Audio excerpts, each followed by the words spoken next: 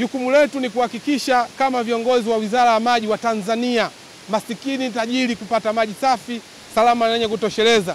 Nilikuwa na masikitiko moyoni kuona wananchi wa Morogoro mjini na maeneo jirani wamekuwa na changamoto ya maji. Niliwauliza wataalamu wetu, kwa nini Morogoro kuwe na shida ya maji? Tunaona ongezeko kubwa la watu, tunaona uwekezaji wa viwanda, haiwezekani hata kidogo. tuotokane na mabwawa ya Mindu, tuhakikishe tunatafuta chanzo toshelevu ambacho tutakwenda kutatua tatizo la maji. Nitumie nafasi hii sana hususani kwa mkurugenzi wa bonde la Wami Ruvu, ndugu yangu Ngonyani, pamoja na timu yako. Umefanya kazi usiku na mchana, umekuja kutuleta katika chanzo hichi. Nimefarijika sana.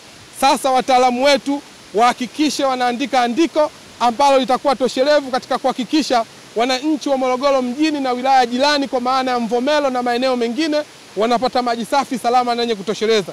Hichi ni chanzo cha mto Mgeta na ambacho pia ni chanzo cha mto Ruvu.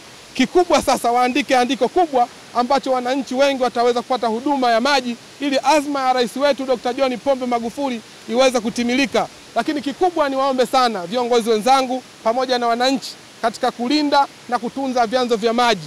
Leo tunayataka maji, lakini pasipo kuyalinda na kutunza vyanzo vya maji, vyanzo vinakauka.